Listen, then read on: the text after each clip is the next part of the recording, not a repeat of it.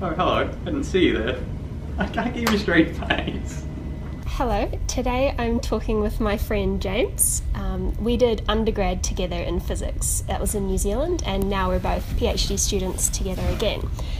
We wanted to talk about some physics degree horror stories because we have plenty of those. There are so many.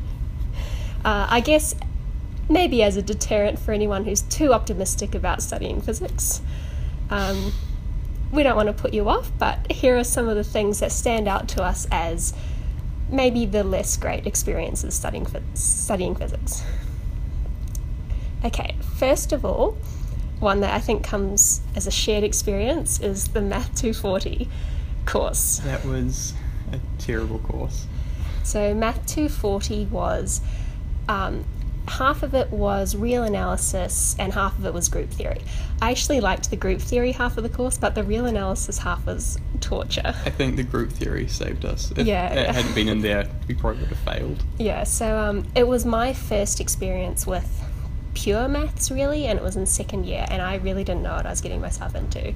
Yeah. Um, Specifically, they advertise that course as for third years to take to do an extra second year course because it is the most difficult second year math course. Yeah, so I think this became a horror story after the midterm test. Uh, which was given to us by the lecturer who was this real he was a really good mathematician but he was very strict. very he was the stereotypical old english scottish sort of scottish strict, oh he's definitely scottish scottish strict mathematician very rigorous have to have all the proofs rigorous. Yes, that that's something about about it. Um, so he made the test multiple choice, which I thought was great. How could you do bad on multiple choice test? except, what could go wrong? except every wrong answer lost you marks. Um, and it was basically a guessing game because it was so I don't know, it was so difficult. So So basically if you were to get fifty percent of the questions right and leave the rest of the test blank, you would get a passing mark. However, if you got 50% of the questions right and 50% of the questions wrong, you would get a zero. So I came out of the exam with a glorious minus five. and I somehow managed to scrape through with a four out of a hundred. Yes, that's that's percentage. So that was horrific for me. Um, and I was like, oh, this is not going well. Um, like I said, I think we saved ourselves with the group theory half, but the feelings after that and getting a negative score were not good.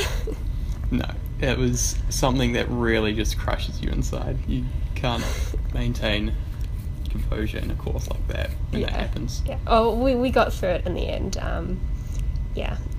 To give you an idea of what the questions were sort of like, there would basically be a mathematics spiel that would say, there is a limit such and such and such. Which one of these is the correct proof sort of like a miniature one line proof. And then it would just be a long line of about 15 to 30 characters of pure mathematical notation. The only difference between the four answers would be like some signs would be flipped, or a, instead of an A character here, it would be the E character meaning everything instead of all. And it came to a point where you couldn't even read the answers, so sometimes you were just like, well, maybe it's this one. Yeah. Alright, so one of our other horror stories, I think a shared one was Steve. Steve!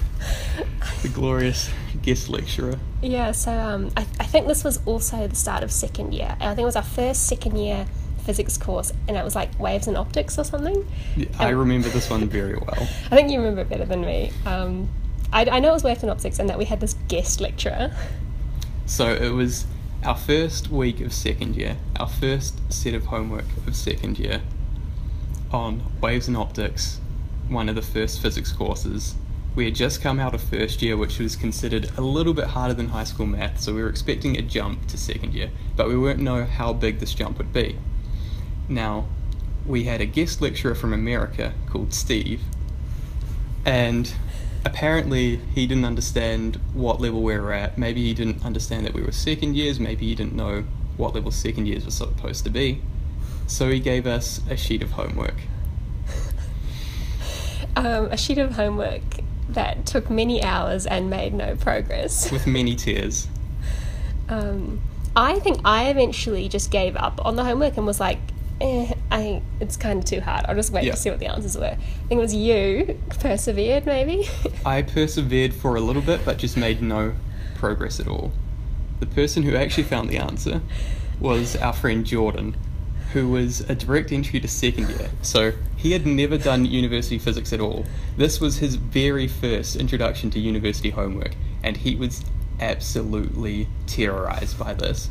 But somehow, through I think he said like five hours of frantic Googling and learning how to do stuff, he managed to get the answer. Now, the answer itself, I can't exactly remember, but I know that it involved a transformation from normal Cartesian coordinates into polar coordinates, which, to say a third year math student, that doesn't sound that difficult. But when you're a new second year student who's never done a coordinate transformation inside an already difficult problem, it becomes almost impossible. Yeah, I think just we just didn't know what we were supposed to do. No. And I think the whole class sort of had this feeling. We arrived the next day at the lecture and we're like, oh my god, what We're was all that? going to fail. Um, it eventually transpired, however, that Steve had given us a problem that was from a graduate level um, American grad school textbook.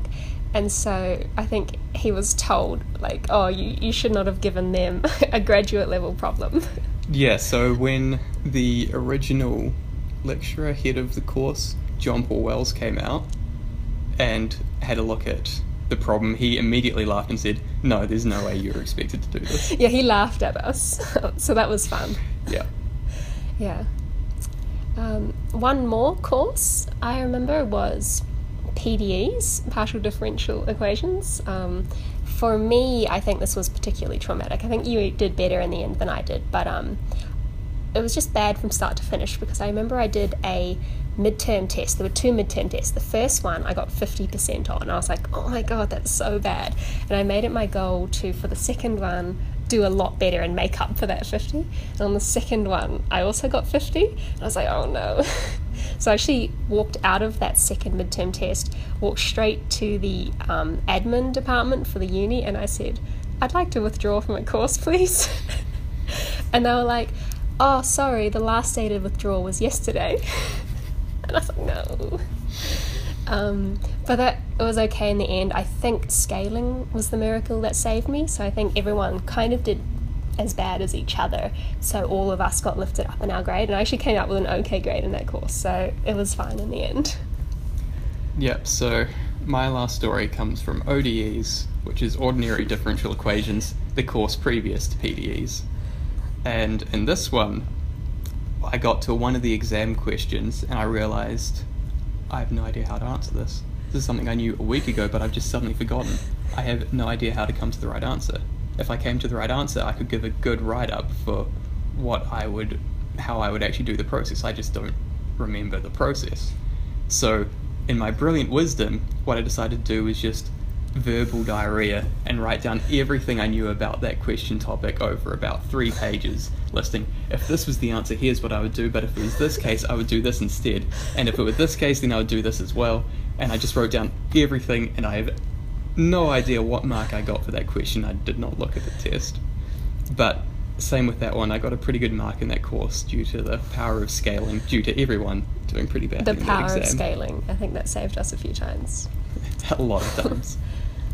yeah, so I think those those are some of our main horror stories. Um, there were good times as well, um, but yeah, studying physics can definitely be stressful at times. There were lots of all nighters as well, and just yeah, freaking out over handing in assignments. Assignments, exams, tests. Yeah, everything, Yeah. labs even. Yeah. All right, thanks, James, Yeah, thank you, no worries. and thanks for watching.